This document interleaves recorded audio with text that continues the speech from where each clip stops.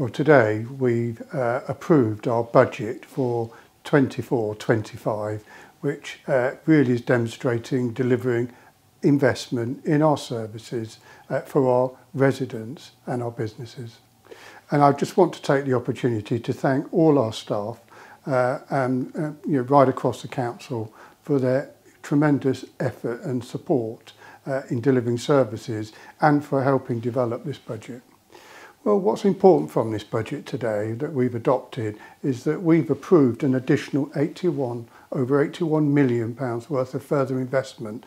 And that's primarily in our social care, which is in adults and in children's, as well as improving our, our investment in our highways and infrastructure. I have to say there are no cuts in those services.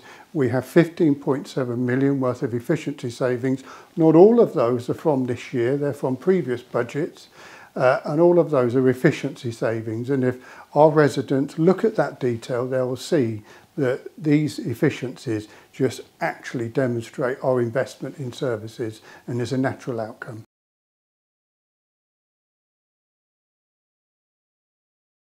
Yeah, so going forward at this year, we do have gaps in our medium-term financial strategy. Uh, we will now, from Monday, be working how we address those balances. Uh, but we are a council that's in a good financial position. We do have challenges. We do have resilient reserves, but all our efforts now will be ensuring that our budgets for future years focuses on our council plan, which are the four priorities underpinned by protecting our environment.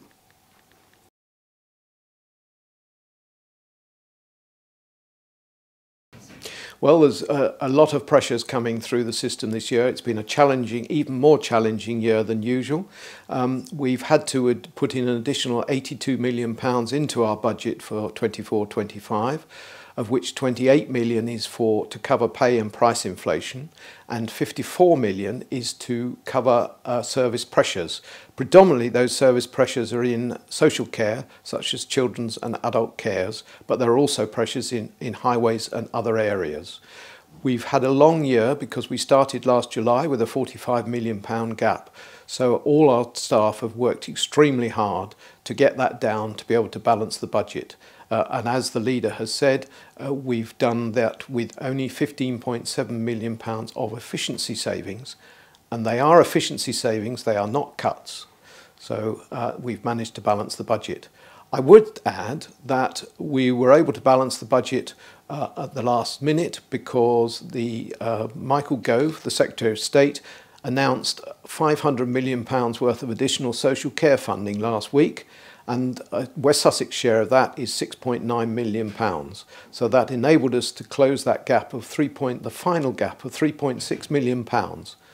The additional 3.3 that we're left with, we have put into the budget, but we will decide how we spend that uh, in the first quarter of next year because we didn't have time to allocate it. The funding came through so late. But uh, what I'd like to be quite clear about is that we are not putting money, any of this additional funding, back into our reserves.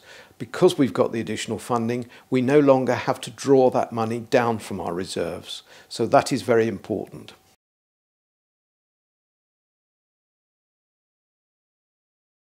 Uh, our council tax uh, decision for next year is that we have, unfortunately, we are having to increase our council tax once again by the maximum amount, which is 4.99% we have to do that because the, the, core funding that the government give us is assessed on the fact that we will raise council tax by the maximum amount. The 4.99% is made up of 2.99% for core services and 2% for adult social care precept. Now, we don't like having to raise council tax because we appreciate the present cost of living situation most people are in. But as it's part of our core funding, we need, we need that money to protect our frontline services.